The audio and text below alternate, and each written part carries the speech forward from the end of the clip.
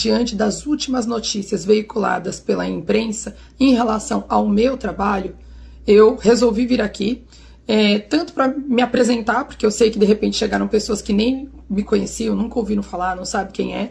Então eu vou me apresentar e vou falar um pouquinho em relação a essa situação. O que, que acontece? É, eu sou esposa, é mãe e advogada atuante há mais de 22 anos. Nesses 22 anos, eu construí com muita seriedade credibilidade, sempre atuei da forma correta, lícita, dentro do que exige e determina a legislação. Inclusive, se vocês observarem, Todas as postagens que eu faço aqui no meu perfil são postagens extremamente técnicas, orientando o que pode o que não pode ser feito, o que é certo o que é errado, as consequências. Então, esse é o meu trabalho, fazer justamente esse compliance para figuras públicas.